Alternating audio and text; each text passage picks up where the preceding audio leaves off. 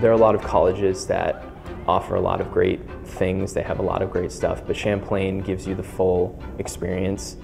Facilities here are beautiful. I love them. The library is really awesome. I love the view. Stepping onto the campus, it's definitely a different feel than the bigger schools. You feel a sense of welcome and the campus is beautiful. I mean, I've looked at a lot of like other schools and my friends all have the cinder block and not like warm and welcoming, but here, I mean, they're houses. Like when I tell people that I live in a house, they're very surprised. They're like, what do you mean? Do you like, did you buy a house when you came up here? And I was like, no, that's, my dorm is a house. It's just awesome.